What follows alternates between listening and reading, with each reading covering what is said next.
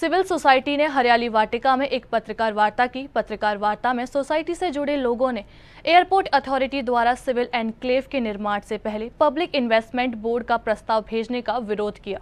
आज हमने जो प्रेस कॉन्फ्रेंस रखी है, वो सिविल एनक्लेव के ऊपर है, जो अभी अखबार में छप रहा था कि अगस्त तक सिविल एनक्लेव का काम शुरू हो जाएगा।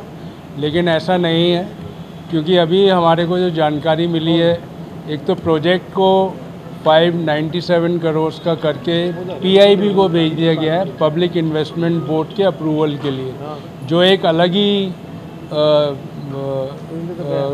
प्रोसेस है, जिसमें बहुत टाइम लगेगा।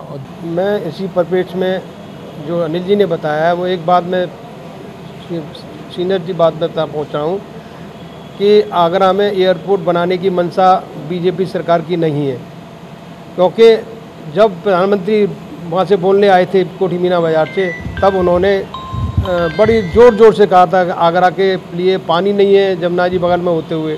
आगरा के एयरपोर्ट होते हुए एयरपोर्ट नहीं बना हुआ, सिविल एयरपोर्ट नहीं बना, उसके लिए उन्होंने बड़ी दहाड़ के कहा था। अब वो दहाड़ कहाँ चली गई? पचहत्तर एयरपोर्ट बना दिए आगरा, यूपी के अंदर, सत्तर बना दिए, बीस बना दिए, पच्चीस बना दिए, रोज़ाना डायलॉग आते हैं इनके नए नए आगरा के लिए क्या हो गया?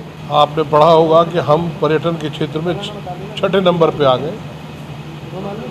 पर्यटक आना कम हो गए। एक तिहाई आबादी को रोजी रोटी देने वाला पर्यटन क्षेत्र उस, उसमें पर्यटक नहीं आएँगे तो वो चक्का जो पर्यटन का घूमता है, जिससे लोग अपनी रोजी रोटी कमाते हैं, उस पर फ़र्क पड़ेगा और उसके लिए जो आधारभूत जो जो जो सुविधाएँ चाहिए, उसमें एयरपोर्ट एक बहुत बड़ी सुविधा है। आज हमारे प्रदेश का सौभाग्य है कि छोटी छोटी जगह पे एयरपोर्ट खोले जा रहे हैं, लेकिन आगरा में जब एयरपोर्ट का नाम आता है तो कोई अड़चन आ जाती है, कोई अड़चन, कोई बाधा आ जाती है।